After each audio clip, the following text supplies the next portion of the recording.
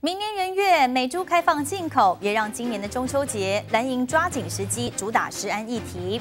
国民党主席江启臣他就亲手做了蛋黄酥，但是也提到，原来蛋黄酥会用到这么多的猪油。而另外，国民党也发文祝大家中秋节快乐，但是里头却提到了，这可能会是最后一个安全的中秋节，引来网友不满，批评国民党是在唱衰台湾。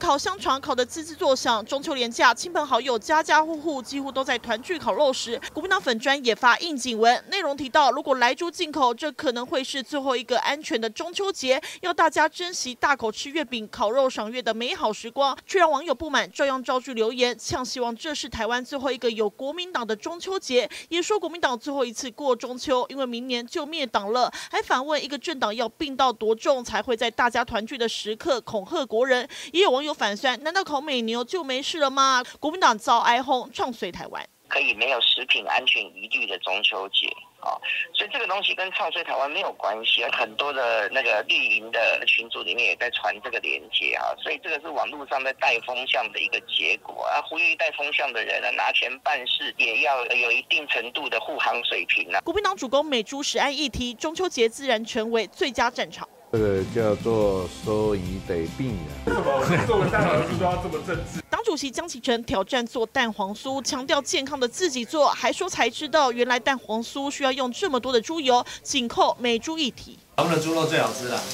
天下无敌。而推销台湾猪现阶段则是超越蓝绿，民进党立委林俊宪深入敌营为蒋万安吃猪肉。解放快！哦哦，接下来。